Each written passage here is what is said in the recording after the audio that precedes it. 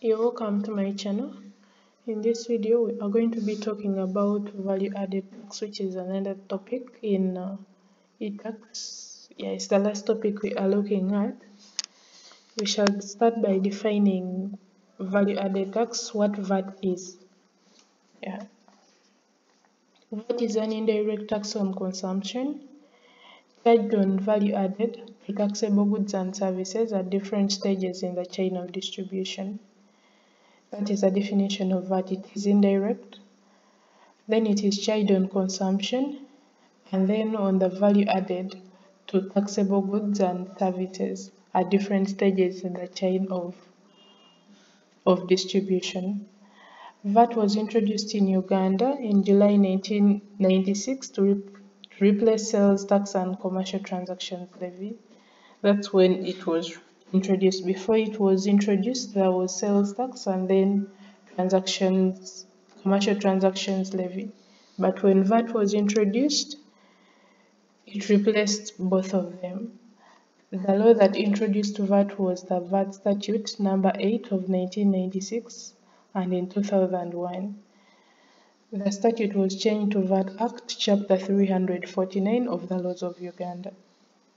So that is what VAT is all about. It's an indirect tax on consumption charged on value added to taxable goods and services at different stages in the chain of distribution. Then let's look at the scope of VAT, what VAT is all about. Yeah.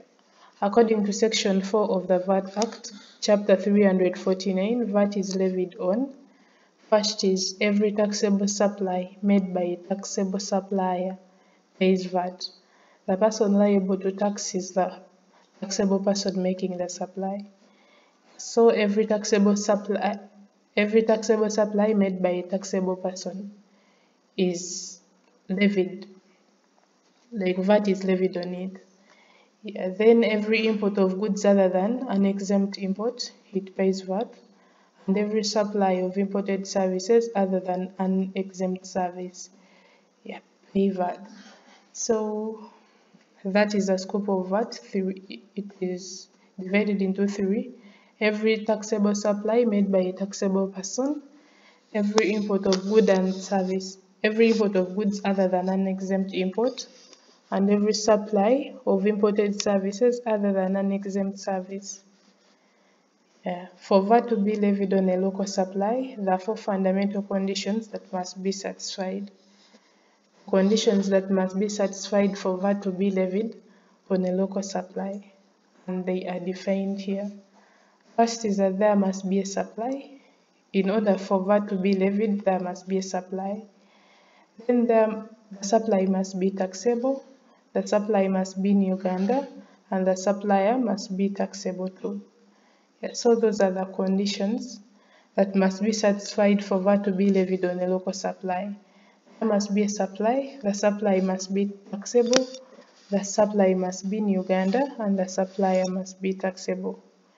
Yeah, so that was the introduction of VAT. Thanks for watching. Don't forget to subscribe, like, comment, share with your friends, and watch my next video. We shall be talking about the key definitions in VAT.